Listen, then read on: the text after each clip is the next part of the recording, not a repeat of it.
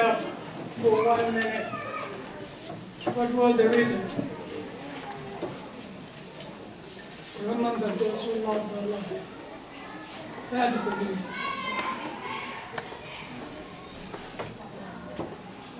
I will ask you again. If anyone ever lost a relative in this war, put your hand up. Let me see your hand. Is anyone here that lost his relative in a war? Put your hand up. Let me see it. We all lost relatives. Is that death in vain? I heard, I heard many of you or my previous speakers mention Sudan, Sudan, Sudan. What about South?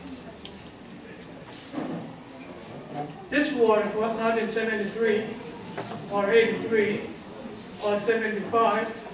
It was from 55. We were hostage in 72. Again, we get hostage in 97.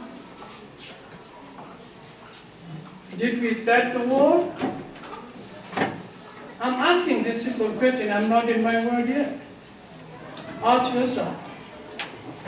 When you talk of unity, ask yourself first before you talk of unity.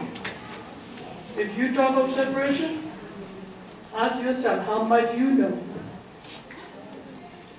Ladies and gentlemen, I think Dr. Garang summed it in one word. The unity, Northern Sudanese had to make it attractive. I don't think that is, uh, we should not take much time talking of unity. Northerners, have the ball in their court. Let them, let them bring us what can unite us. Today,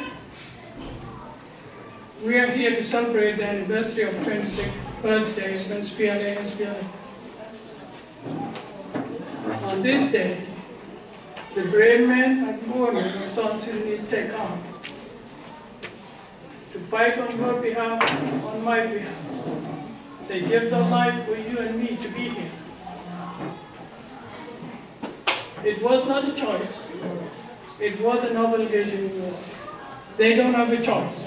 If they were having a choice, they would have not given their life. Is any one of us here want to die?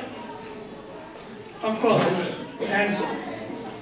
Ladies and gentlemen, May 16, 1983, it was the day when 104, 105 took the arm. I'm here today, I'm not here to preach you of unity. I'm not here to preach you the separation. I'm here trying to refresh your memory of those who gave their life. How did they give their life?